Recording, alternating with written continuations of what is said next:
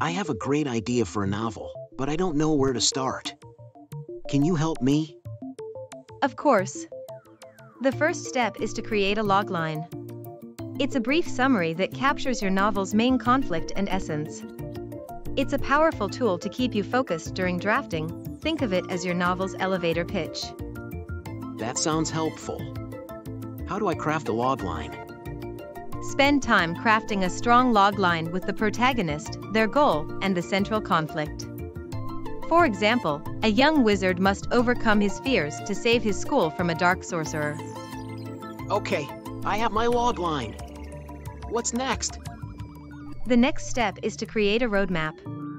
It's a detailed plan, including major plot points, character arcs, and key scenes. This planning stage provides direction and structure, making writing more manageable. That makes sense. How do I outline my plot?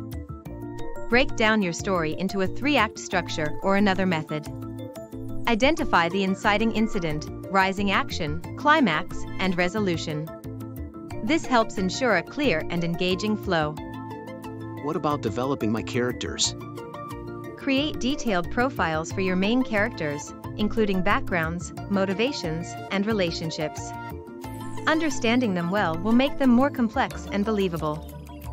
Okay, I'm ready to start writing. Do you have any other tips? Set clear goals, research thoroughly, establish a writing routine, join a writing community, and stay flexible and open-minded. By following these steps and using tools like the logline and roadmap, you'll streamline your process and set yourself up for success.